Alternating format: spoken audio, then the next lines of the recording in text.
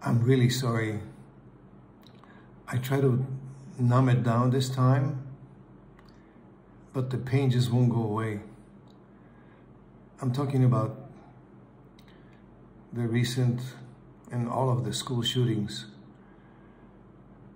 I just don't understand what's going on, what we're doing as a society, as a family, as humanity. I mean, are we really expecting to have nine-year-olds being trained in active active shooter training and and have cell phones that they're aware that they should call 911 when something like that happens and actually have them go through situations where these things happen and, and they call 911 to ask for help and nothing happens and then eventually they get murdered? Are we saying that that's okay as humanity to have these situations happen? Is that how we're defining ourselves? I think we're failing. I think we're failing as society, as family, as humanity. We're failing.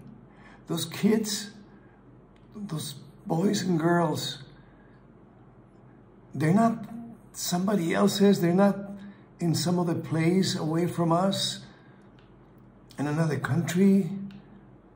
Those kids are our kids. We are one human family. Our daughters and our sons, our granddaughters and our grandsons were slaughtered there. They are our kids. And we're failing them like that.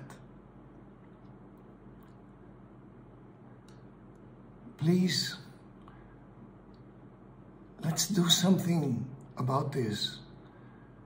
Please, let's come together in unity and do something about this.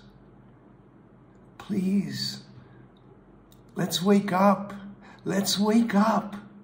It's going to happen again. You know it will. It's going to happen again. Please, let's do something. Let's save our children. Let's do something so this does not happen again. Please, I beg us all. We can do it. Please. Thanks for watching. I love you all.